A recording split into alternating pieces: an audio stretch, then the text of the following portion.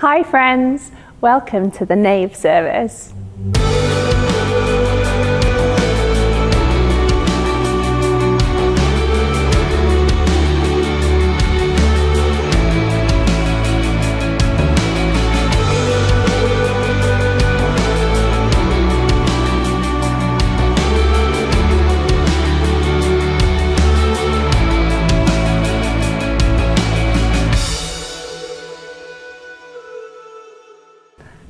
It's so good to have you with us for this service. Let's just take a moment as we come to this service to reflect. In our reading for today, uh, we're looking at the story of when Jesus meets uh, a lady by a well. Uh, so, why don't you close your eyes and imagine sitting on a well wall in the middle of a hot desert or near a hot desert, on your own, watching the world go by and along comes Jesus and sits beside you. What do you want to say to him today as you sit there with him?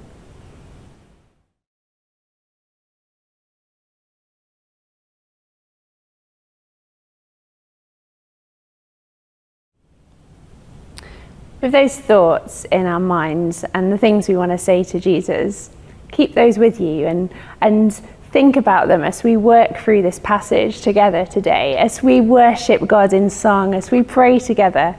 Um, and just allow God to speak into those situations in your life. I'm going to pray and then we're going to worship God. Thank you, God, that we can gather together wherever we are in the world. Thank you that you are with us. Thank you that you are a God who is worth, worth praising. We thank you for your creation, the sound of the wind, the trees blowing in the wind. We thank you for the rolling waves. We thank you for green hills. And God, we thank you for your goodness to us, your extravagant grace. We thank you for your desire to spend time with us. And I pray, God, as we worship today, we would be aware of your presence with us. Amen.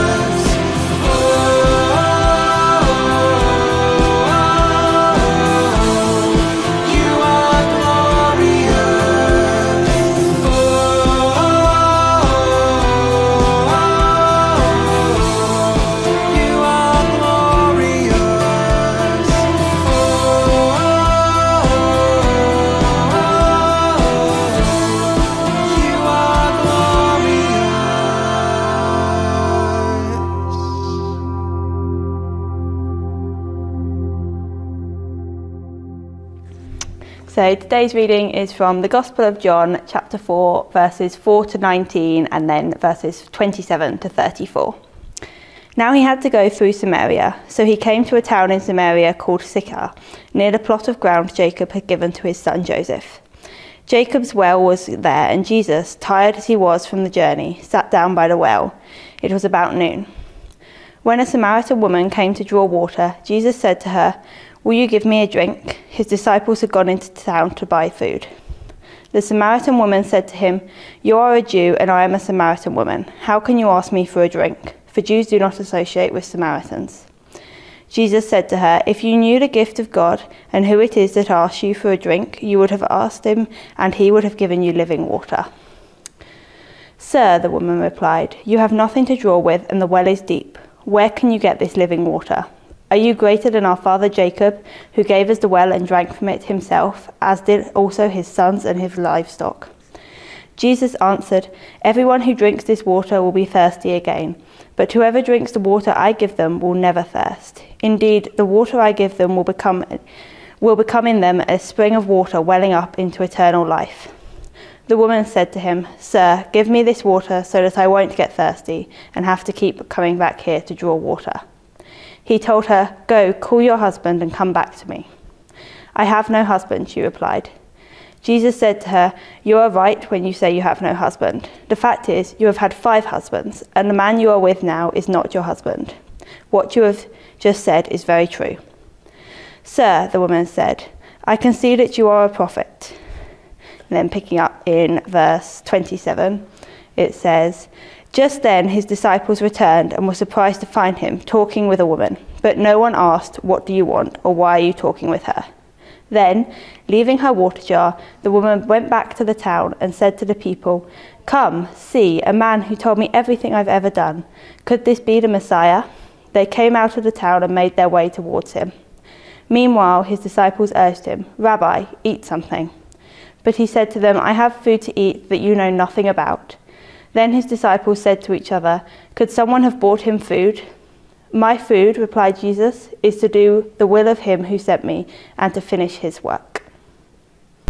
Hello, lovely people, and it is so wonderful to be with you all once again here in the nave. And what a fantastic passage of scripture we have just heard from Catherine. Now, before we consider what the Lord may be saying to us through that passage today, let's pray. Father God, we give thanks for your word. And we give thanks that we are free to hear your word read aloud wherever we are. And Lord, we pray now that you would fill us with your Holy Spirit. Give us ears to listen. Help us to hear the things that you want us to hear. And help us to turn away from the things that are not of you. In the name of Jesus, your Son, we pray. Amen. I have, if you will, one big lament in life, and that is that I never got to really study history. I am, if you will, a bit of a history geek. My perfect day out involves a castle or a museum or something like that. I did history at GCSE but not since. As I trained for ordination, church history played a very big role in the academic study I did. But what I really wanted to study was history itself, and especially Welsh history. I am a Welshman, of course, you can hear my accent, but Wales has a brilliant, unique, strange, sometimes bizarre history. And I'm especially fascinated by the history of the part of the world that I grew up in, in South Wales. And really, if I'm being honest, my hometown of Merthyr Tydfil. Now, if you've not come across Merthyr Tydfil before, you won't know that it was one of the key towns in the whole world during the Industrial Revolution People like me from Merthyr, we have it drummed into us since the day we were born. This town used to be really, really important. And I think it's fair to say that our teachers weren't exaggerating when they told us that. Merthyr was a tiny little village which grew rapidly to have an extensive population as people travelled from all over the world to work in the ironworks which were established there. Merthyr played a very key role in the Industrial Revolution, the development of new technology, and even saw the very first train line developed by Richard Trevithick. Now, that's all the nice stuff. There was also a lot of negative things as well. A giant influx of people, for example, brought with it a wealth of problems, not least to do with health, mixing with others, and crime. And in fact, we learn reading through the history books that in Victorian Merthyr, there was a part of town that got the name China. This part of town was blocked off from the rest of the town by rivers, buildings, and archways. The only way in was through an archway which was guarded by someone. And what happened in China basically stayed in China. There was, if you will, a micro law unto themselves. It said that the police dare not venture in there. They had their own ruling classes. It was unique in absolutely every way. Judges' reports from the time mention of young men who strayed into China and came out a little bit lighter of their money, with judges saying it's their own fault for going in there in the first place. This tiny little part of this town became notorious, not just in the town, but in Wales and the UK. Every community then, and indeed every community now, has the dodgy bits, but this was the ultimate dodgy bit. It was the no go area. And I mention that today because in our story today from the Bible, Jesus himself found himself in a no go area. Here he was in Samaria now, if you don't know already, Samaria was a very strange place. It sat in the middle of the land of the Jews, and the Samaritans and the Jews were natural enemies. For a Jew travelling from one part of the land to the other, it was almost unheard of them to travel through Samaria. It was deemed to be too dangerous. Instead of taking a direct route, they would go around one way or another and so avoid it. And so to say that Jesus was there is nothing less of remarkable. Here in this reading, we find Jesus firmly in the land of Samaria. Not only that, he was talking to a woman, a woman seen as the lowest as could be in society. And not only that, again, Jesus was talking to a woman who had her problems. She had her issues with men, shall we say, and it's clearly implied from the reading that that affected her status in the community. She was on her own gathering water from the well, which kind of tells us all that we need to know. So here we have Jesus, a Jew, talking to this Samaritan woman. The Jews and the Samaritans were very similar. They had a very similar ancestry. As you hear from the reading, Jacob, if you will, was the father of both. But somewhere across the line, they got split. And though they practiced religious practices that were very similar, they were so similar to be deemed as uber different. If we can make a modern day comparison of what was going on, perhaps it's good to think of Protestants and Catholics during the time of the Troubles in Northern Ireland. Jesus being in this place was truly remarkable. Speaking to this woman was truly remarkable, and all that she did made it truly remarkable. And when we catch up with Jesus, he is on his own with her. And it could be a really good reason for that. Maybe the disciples would have done anything to prevent him speaking from her.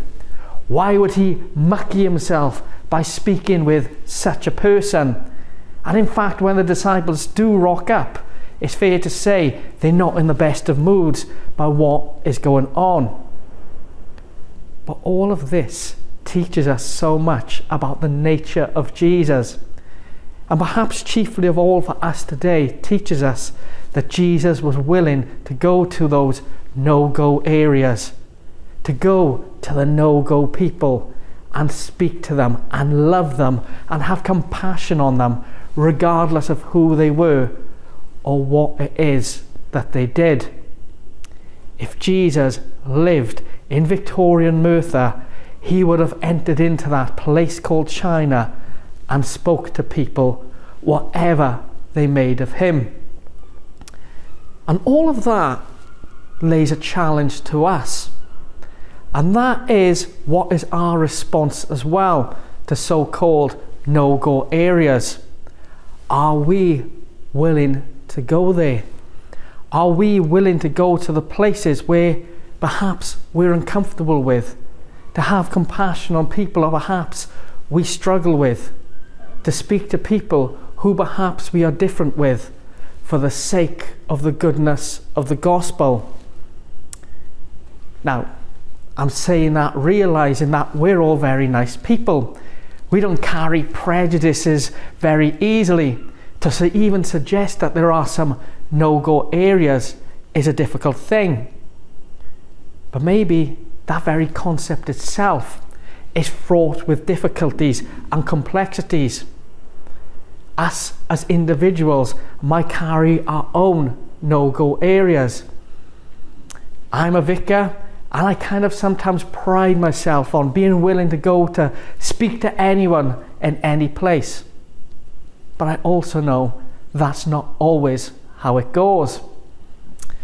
A number of years ago, before I was a vicar, I worked in politics. And my boss, the politician who I worked for, had an invitation to a special event for renewable engineers.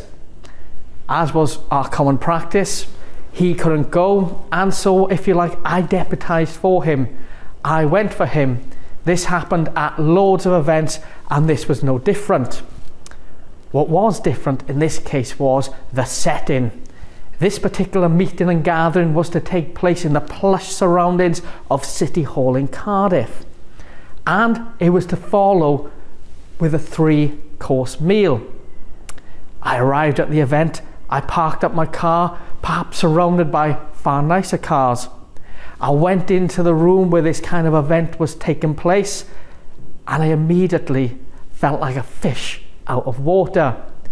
I was surrounded by men of a certain age, men who looked extremely successful, and I felt about five years old. I felt like I completely and utterly didn't belong. And as soon as, if you will, the talking bit was done, I made my escape. Even though these good people had made and prepared a meal for me, and I was to sit and talk about all that was happening, I couldn't face it. And so I basically ran out of there and didn't stay for dinner. And as I was driving away, I kind of justified this to myself, thinking, I'm like a fish out of water. What are they going to have in common with me? What are these successful men going to think of me being in this place? And it was then that I realized what a plonker I was. The problem wasn't with them, the problem was with me. I was carrying my own baggage, thinking that they would be this kind of person, that they would look down on me, that they would think that I was inferior. I was placing all my woes on them and justifying it to myself. What would Jesus do in that situation? He would stay, he would talk, he would show love, he would show compassion, he would show it to all people. Because that is what he did in this reading. He showed love to this Samaritan woman, despite their differences, speaking the good news of the kingdom of heaven to her. And he did it all in such a wonderful, loving way. Again, I look at myself and I would have marched in there all guns blazing, perhaps ready to condemn. Jesus was Jesus. He is God on earth. He knew what this woman was. He knew that all the problems she had. He knew that she wasn't perfect. Yet when he spoke to her, he let her do the talking. He knew fully well how many times she'd been married. He knew fully well that the geezer she was with currently wasn't her husband. But he didn't go in and say that. He allowed her to do it. And she knew that he knew as well. And there's such incredible love on display. Jesus could have shown off the prophetic at work of him, the words of knowledge at work of him, his divinity. He could have shown it off, but he didn't. He met her where she was at. He showed her that love. He showed her that kindness. He showed her that compassion. And she came to acknowledge who he truly was as a result. And what did she do after all of that? She went and she told everyone else. She told them that the Messiah was there. She told them of the good news of Jesus. She told them of who Jesus really was. Not only did she feel loved, not only did she feel valued, not only did she feel incredibly special to have this meeting with Jesus, but she shared it with other people as well. And that community came to know Jesus. Because Jesus was willing to go to those no go zones, incredible things were able to happen. The building of the kingdom was able to happen. People came to faith and his name was praised. So I guess, above all, in all of this, there is a challenge for us today, a challenge for you, and a challenge for me. And that is quite simply where are our no go zones? Who are the people who we would struggle to connect with? And what is the Lord calling us to do about it today? Is the Lord calling us to pray for them? Is the Lord calling us to go there? Is the Lord calling us to speak to them? Is the Lord calling us to minister to them? Is the Lord calling us to share His love, to share His compassion, to receive words of knowledge about what is going on in their lives, to prophesy over them?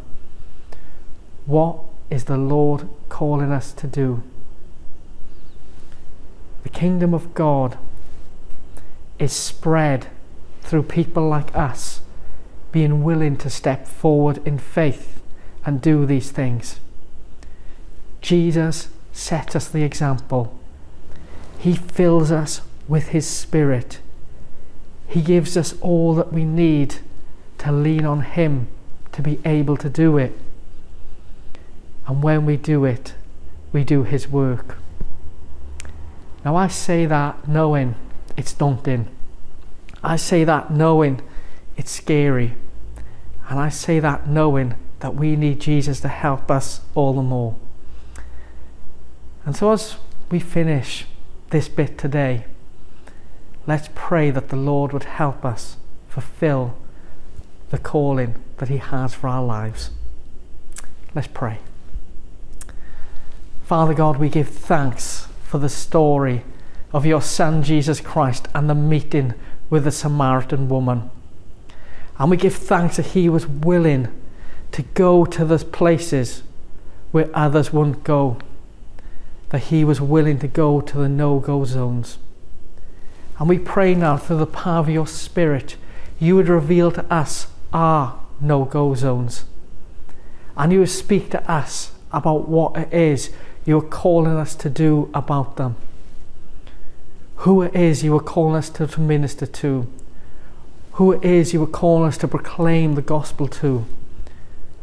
who it is that you ask us to speak to about your Son's name, who it is that we need to lift to you.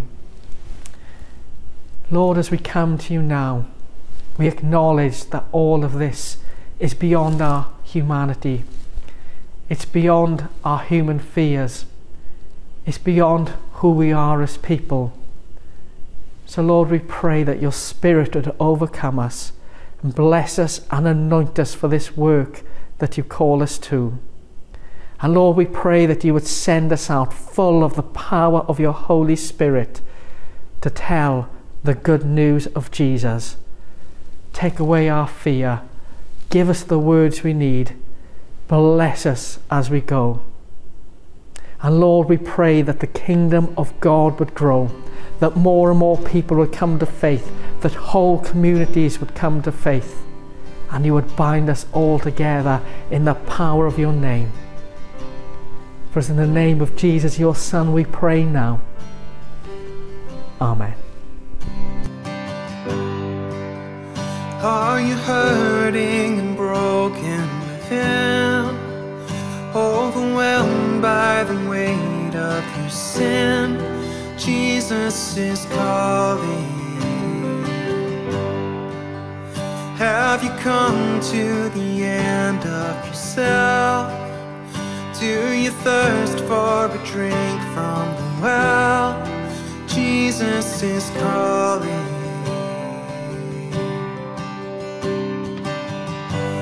Oh, come to the altar.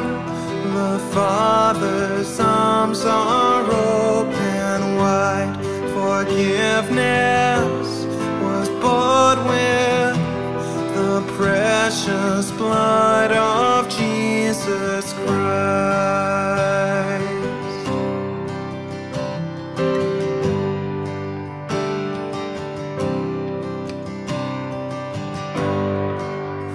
Leave behind your regrets and mistakes. Come today, there's no reason to wait. Jesus is calling. Sorrows and trade them for joy. From the ashes, a new life is born. Jesus is calling.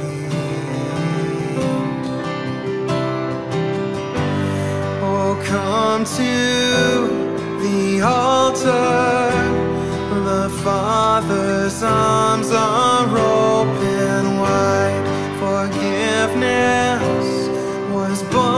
with the precious blood of Jesus Christ.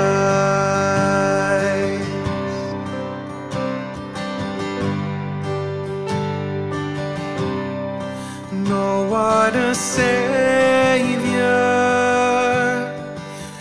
isn't he wonderful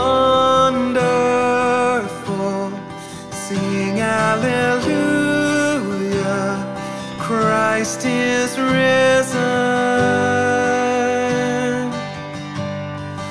Bow down before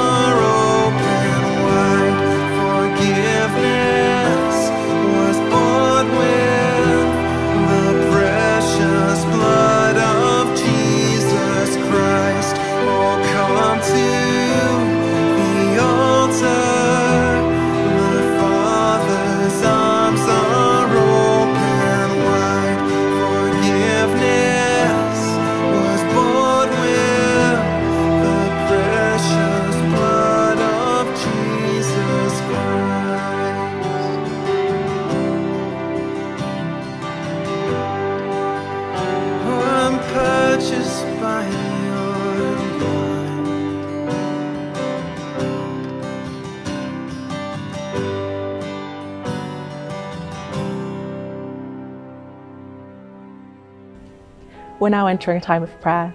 Uh, I'll say a short prayer and then I'll leave some space for you to lift your own prayers. Lord, I thank you for your provision this week. I thank you for church. I thank you for the world we live in. And I thank you for your presence in our lives. Now we're going to pray for our world. So, uh, Lord, I, I pray for peace and wisdom, uh, especially for those in leadership, that those who have power over others in any format will make decisions for your glory, will make decisions that cause peace,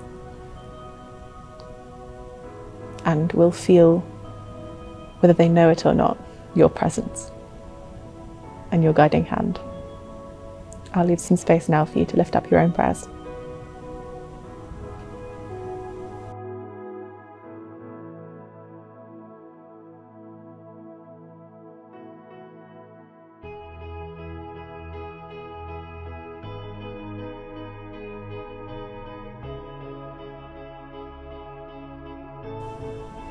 Now we'll pray for our country.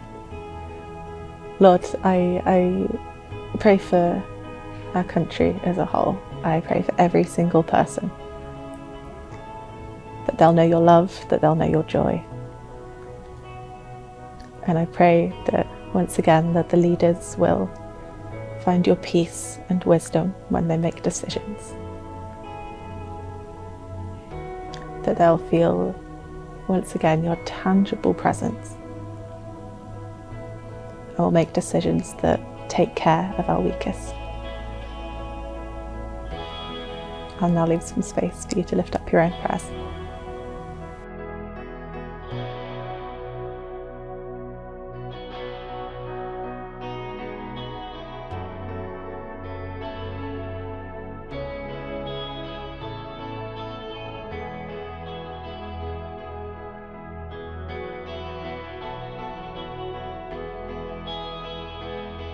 And now we'll pray for our town and church, wherever that may be. Lord, I thank you that we have where we live, that we have your provision. I pray for peace and for wisdom for everyone that leads uh, both the town and the church this week, that we will all feel your tangible presence. I'll now leave some time for you to lift your own prayers.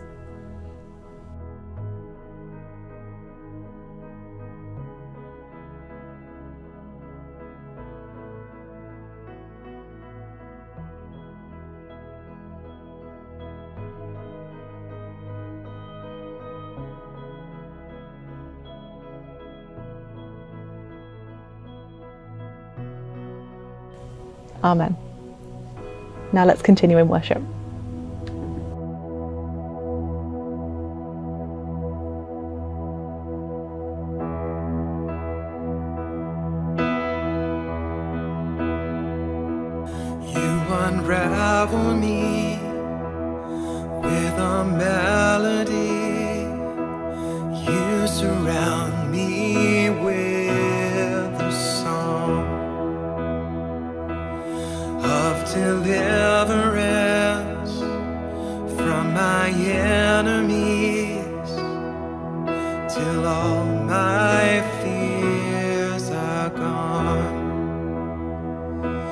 I'm no longer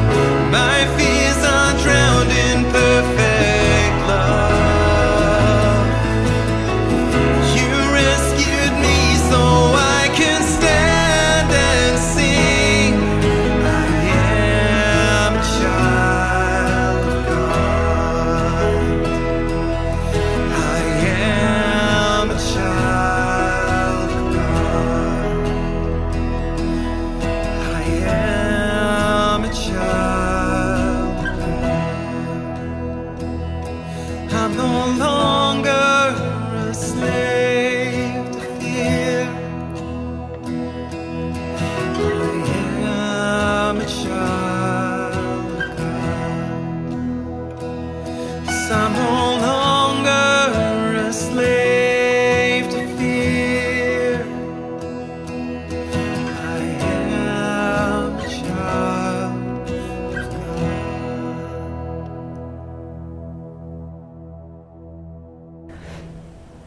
As we come to the end of our time together, let's go back to that well and let's use a moment of quiet again to just reflect on where we've come in through our service. Sitting on that well in the middle of a desert, watching the world go by, and who sits next to you? Jesus. What would you say to him now?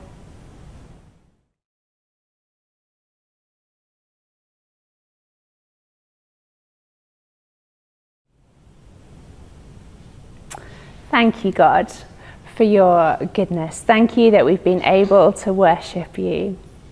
And God, I pray that the things that we have learned and heard today will inspire our, our walk with you for the rest of today, for the rest of the week, for the rest of the month.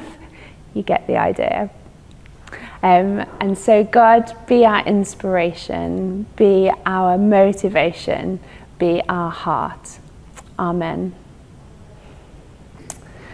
Thank you uh, for being with us. Um, don't forget, if you would like someone to pray with you, um, there's an email address at the bottom of the screen right now. Uh, pop an email with your prayer request um, to us, and we will pray for you. Uh, if you want someone to pray with you in person, just mention that in the, in the email and, and we'll get someone to give you a call um, and have a chat with you, or if you're near us, um, meet up with you. And we pray that you would have a blessed week um, and enjoy your time following Jesus and getting to know who he is. Bye.